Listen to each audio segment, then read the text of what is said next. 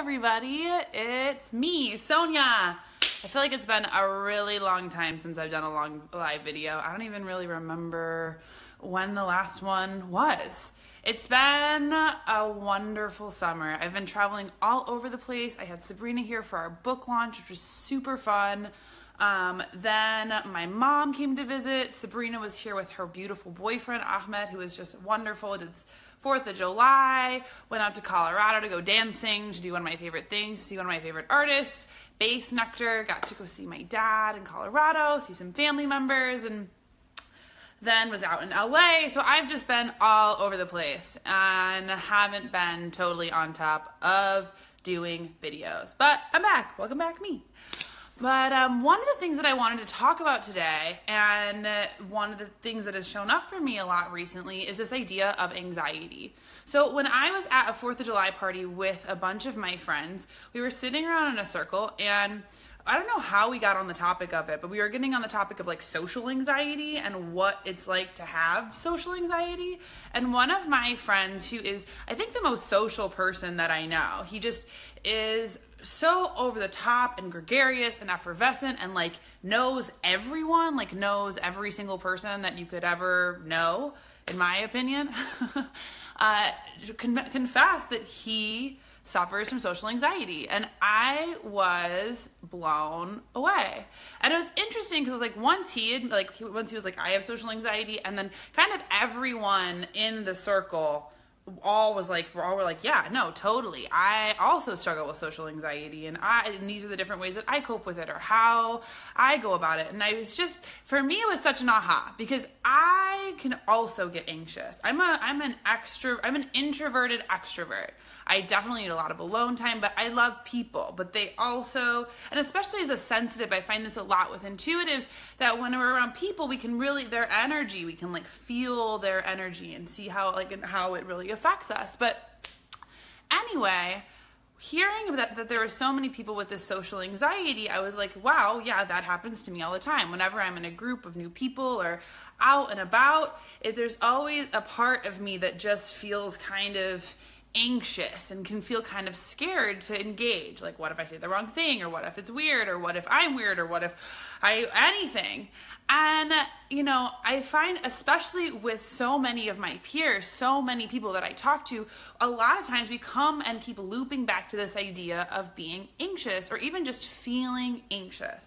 And how that manifests in our lives all the time, whether it's when we're by ourselves or just about when we're around other people or about our jobs or about our life or about the future. I mean, the list of things that we can feel anxious about is endless, obviously. But, I, you know, one of the things that I was thinking about is, you know, how we use social media and how social media, first of all, is it can be a great tool, but how it really disconnects us from ourselves and from our bodies and from this place of where we can get a lot of our own wisdom.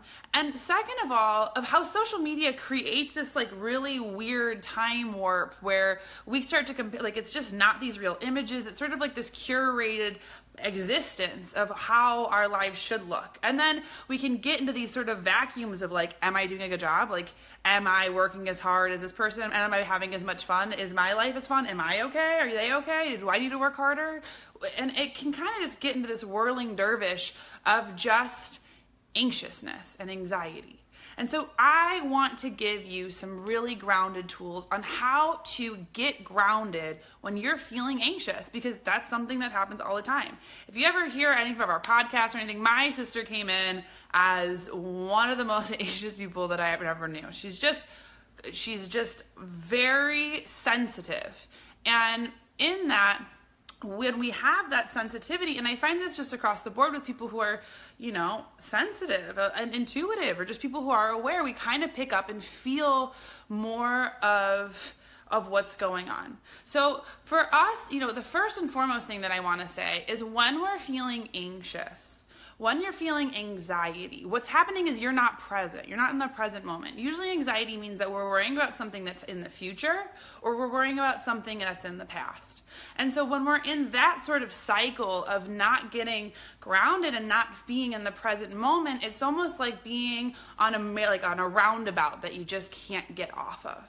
So, you know, one of my first and favorite tools is even to just pay attention. Pay attention to what you're thinking about. Just see, just even as like a like a third eye, uh, a third perspective. Like just like if you were to be watching something like a bird's eye view. See what you're worrying about. Seeing what's kind of going on to give yourself a little bit of space to work with. Second of all, a really great tool because when we get into anxiety, our limbic nervous system gets hijacked. We can get into like fight or flight and really feel like it's a matter of survival. So one of one really quick tool is a really easy breathing technique. So what you want to do is you want to put one hand on your belly or one hand on your heart. I like this because it helps to like reroute me into my physical being. And then breathe in for four counts. One, two, three, four. Hold for two. And exhale. One, two, three, four. So you breathe in. Two, three, four. Hold it. And then exhale through your mouth like you're blowing out a birthday candle. One, two, three, four. Hey, Dee. Uh, and, and what that does is if we do that like 10 times, it will help to reset that our brains. It'll help to actually click us out of that fight or flight experience and help us to get a little bit more room to breathe. Second of all, you know, a lot of times, and even this comes, this comes to like social anxiety or all of it, is just to start to be gentler with ourselves. I say this over and over and over again, and I really genuinely mean it because I don't think we come from a culture that's really okay with being nice and compassionate to ourselves. And what happens when we're in these vulnerable situations, maybe we're just at a party and we're uncomfortable because there's all these people that we don't know. To just you know, and then there might be a, our one part of our voice that says, well, you should be fine, or you need to do this, or da da da da da, or maybe goes into judgment of the people around you. Oh, look at that, how that person talks or looks like, or whatever. You know, realizing that those are just these different tools that we're trying to use to get more comfortable. So if we can even just give another space and just go like, okay, like I'm feeling anxious, or I'm feeling nervous, or I'm feeling uncomfortable. And just even saying and just even noting the, the, the emotion or what's going on gives us a little bit of space. You know if your friend if one of your best friends said to you that you're like said to you you know i'm i'm i'm feeling kind of scared you wouldn't hopefully wouldn't be like you're being crazy knock it off. You would say it's okay. You would be reassuring and that's a really easy way to practice just being reassuring with yourself, just telling yourself, like, it's okay. It's okay to be uncomfortable. And, you know, another thing that I also want to just say, which is also really important to remember, is that it's okay to be uncomfortable especially in social settings, especially in places where we're brand new, whether it's you're trying a new thing or you're in a new job or whatever it is, and you're just, it, whatever it is, if whatever feeling uncomfortable just is just normal. Like it's just really normal. Like we have to also remember that so many people are just uncomfortable and that's okay. Like it doesn't mean that you're different. It doesn't mean that you're not okay. It doesn't mean that you're not doing a good enough job. It just means that's the experience that you're having for the moment. And you know, also another tool when so when we're also feeling anxious and when we get into anxiety, our brain becomes a liar. And our brain likes to tell us that we're always going to be anxious or that we're always anxious or that it's always going to be like this or that, that we get stuck in what feels like a loop and we just can't get out of the loop. And so, even just reminding ourselves that this is temporary, this is a temporary moment where I'm feeling uncomfortable and it's to pass and it's to be okay.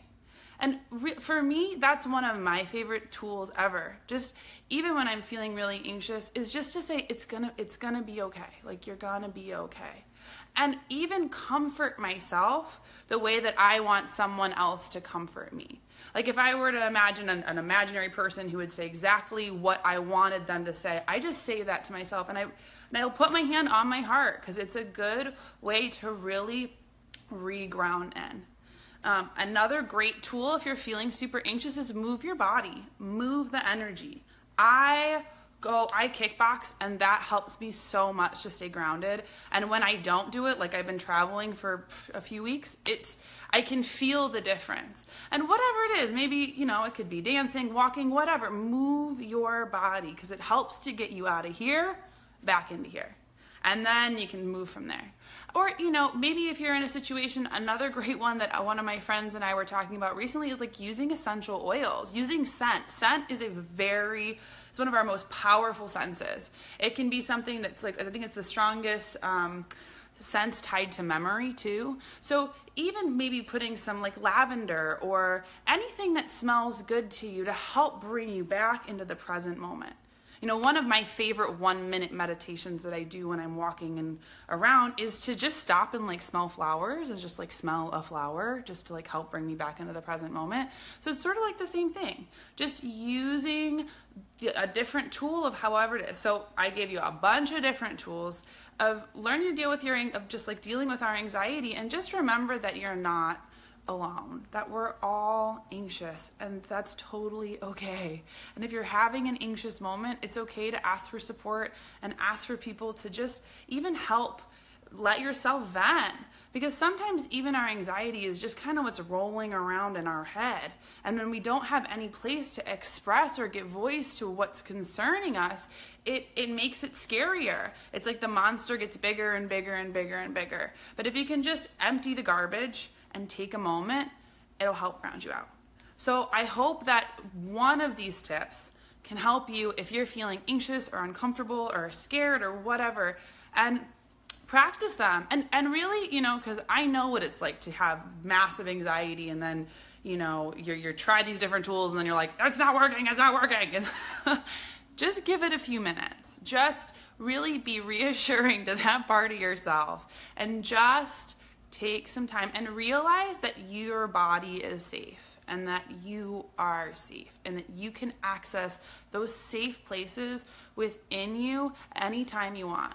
And in learning new tools to get grounded, just like anything, it takes practice. So just be okay with being a beginner, be okay with trying out what works for you, and, and really take care of yourself. So I'm back. It was so nice to see you guys. I hope you're having a wonderful day, and I'm sending you all my love. Bye.